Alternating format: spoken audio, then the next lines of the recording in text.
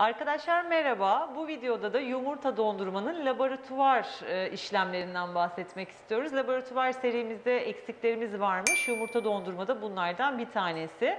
Video içerisinde oosit kriyo da diyebilirim. E, bilginiz olsun. Yumurta dondurma ve oosit kriyo birbiriyle aynı şeyler diye düşünebilirsiniz. Şimdi dondurmayı zaten embriyo dondurmada izlemiştiniz. Aslında teoride bayağı benzerler birbirine. Fakat pratikte ufak tefek farklılıklar var.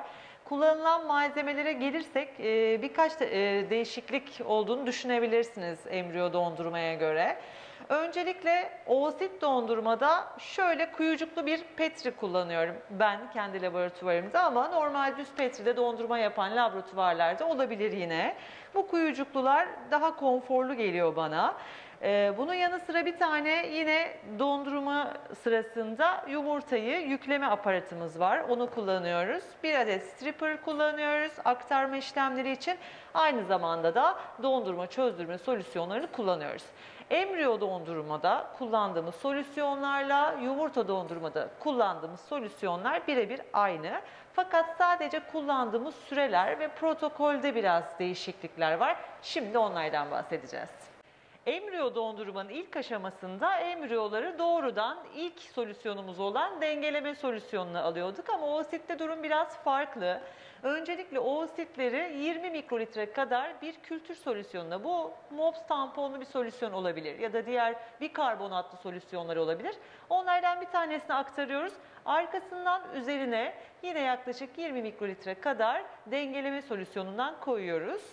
Evet yumurtaları 20 mikrolitrelik MOPS tamponlu solüsyona aktardım. Şimdi çok hızlı bir şekilde ilk solüsyonumuz olan ES yani dengeleme solüsyonundan 20 mikrolitre kadar alıyorum. Ve yavaşça yumurtaların üzerine ekliyorum. Dairesel hareketlerle yapıyorum onu. Ve 3 dakikalık süreyi başlatıyorum. Evet 3 dakikalık bekleme süremiz doldu. Şimdi tekrar dengeleme solüsyonu koyacağım. 20 mikrolitre ve yeni bir 3 dakikayı başlatacağım. Bunu da dairesel hareketlerle koyuyorum.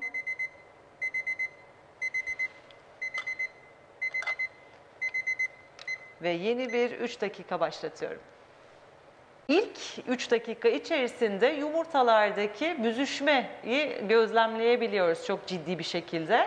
Ne oluyor? Kriyomedyonu yani dondurma solüsyonunu koyduğumuz zaman yumurtaların içindeki su dışarı çıktığı için ozmolarite farkından dolayı hemen yumurtaların büzüştüğünü gözlemleyebiliyoruz. Arkasından ikinci dengeleme solüsyonu koyduğumuzda yani ikinci 3 dakikada ise yumurtaların tekrar toparlayarak eski hallerine gördüğünü e, çok rahat bir şekilde izleyebiliyoruz mikroskoptan. Daha sonra bir 9 dakikalık bölümümüz var. Yaklaşık 9 dakikalık bir bölüm. Onda da yine dengeleme solüsyonu koyacağız. Artık yumurtaların ilk dondurmaya başladığımız haldeki görüntülerini zaten görmüş olacağız orada da. Evet ikinci, üçüncü dakikamız da bitti. Şimdi son aşama olarak yaklaşık 100 mikrolitre kadar ES koyuyorum ben bu aşamada. Yine aynı şekilde dairesel hareketlerle yumurtaların üzerine ekliyorum. Ve burada ise 3'ten daha fazla yaklaşık 9 dakikalık bir bekleme süremiz olacak. Şimdi yumurta evet e, genel hatlarıyla embriyo ya da yani üçüncü gün embriyosu ya da blastokist dondurmaya göre çok benzer bir e, yöntemle donduruluyor aslında.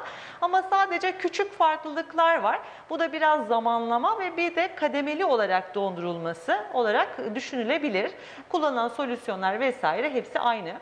Ee, Neden peki bu zamanlar farklı olarak e, oluşturulmuş? Neden bu şekilde yapıyoruz biz bu işlemi?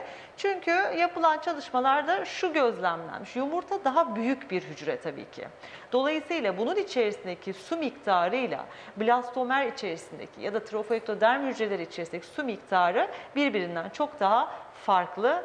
Ee, yumurtada çok daha fazla su var ve hacim olarak da çok daha büyük olduğu için içerisindeki suyun dışarı çıkması biraz daha zaman alacaktır normal olarak. Dolayısıyla yumurtayı bu şekilde kademeli halde ve biraz daha uzun süreçte dondurarak içerisindeki suyun daha iyi dışarı çıkabildiği ve elde edilen sonuçların çok daha iyi olduğu gözlemlenmiş. Bundan yaklaşık belki 5 yıl önce oosit yani yumurta dondurma başarısı şimdiye göre çok daha azdı. Şu anda e, %90'ın üzerinde sağ kalım oranlarıyla biz yumurtaları çok rahat bir şekilde dondurabiliyoruz. E, Bu da sistemin çok iyi çalıştığını gösteriyor. Evet az vaktimiz kaldı. Hadi tekrar bu tarafa dönelim. Devam edeceğiz. Son bir dakikamız kaldı. Yumurtaları bir kontrol edeceğim. Evet bakıyorum. Gerçekten de ilk hallerine dönmüşler. Eski hallerini almışlar yumurtalar. Ve vitrifikasyon solüsyonu koymuştum hemen yan droba. Birazdan yaklaşık 40 saniye sonra yumurtaları vitrifikasyon solüsyonuna alacağım. Birkaç noktada yıkadıktan sonra bir dakika içerisinde şu aparatın ucuna yerleştireceğim. Aynı embriyo dondurmada olduğu gibi ve hızlı bir şekilde de sıvı azota daldıracağım. Vitrifikasyon solüsyonuna geçiş yapabiliriz artık.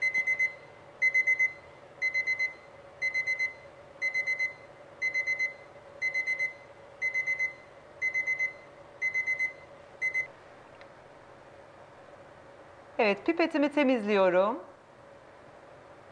Aynı solüsyonla. Arkasından yumurtaları yine solüsyonun içerisinde birkaç noktada yıkıyorum. Ve şimdi aktaracağım.